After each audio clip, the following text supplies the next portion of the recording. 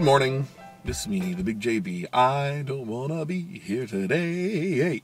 I had a horrible commute again. Um, it took me like an hour and 20 minutes to get from my house to my chiropractic appointment this morning. Normally, a trip takes me about 40 minutes. So, uh, double the time that it normally takes. Uh, it didn't take me too long to get from there to my office, but yuck. I don't like that at all. Yesterday, I had a delightful experience. I went to the men's room. I was not doing standing up business, okay? Let's just get that out of the way so it's not too awkward. I finished up, stood up, pulled my jeans on to find them completely soaked. Thanks to some idiot who either pissed all over the floor or spilled water. Why would you spill water that close to the toilet? And didn't bother to clean it up. So fun, right? So who carries an extra pair of pants with them in the car? Not me. Certainly not I. And I was not about to sit all day in somebody else's pee. So I went home. I left early yesterday and I drove myself home and I took off those jeans and I took the jacket that I was sitting on. I put them in the wash. I went up and took a shower. what a horrible experience. So, yesterday, not a highlight for my week this week. Mondays are usually not bad, but yesterday in particular was yuck.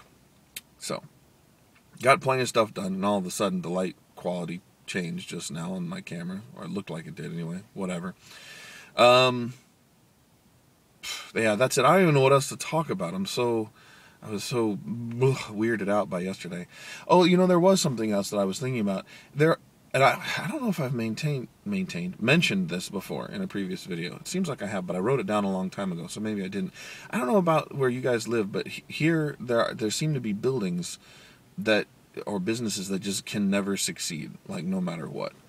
They're no matter what is in the place of the building, it always seems to close down. And there's this one spot that I drive by, um, this kind of funky looking building. I'm almost positive I talked about this. so I'm like having way big deja vu.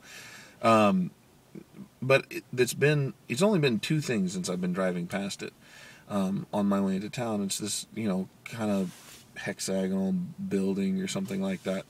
And it was like an Elvis cafe before, and now it's something else and it just it's weird because it just seems like nothing is going to survive there. Just there's I'm just weird that there seems to be places that are just cursed for good business. I'm positive that I've mentioned this before, so I'm just repeating myself now.